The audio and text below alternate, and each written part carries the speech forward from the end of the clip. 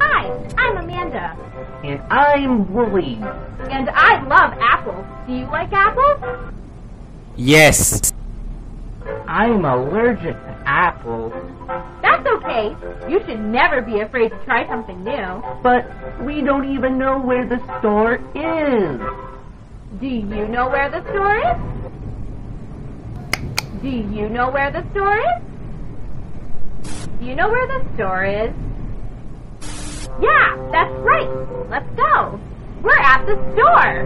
It sure looks crowded. Bah. And look, there are apples. Can you see apples? Apples. Good job! Now we can make apple pies.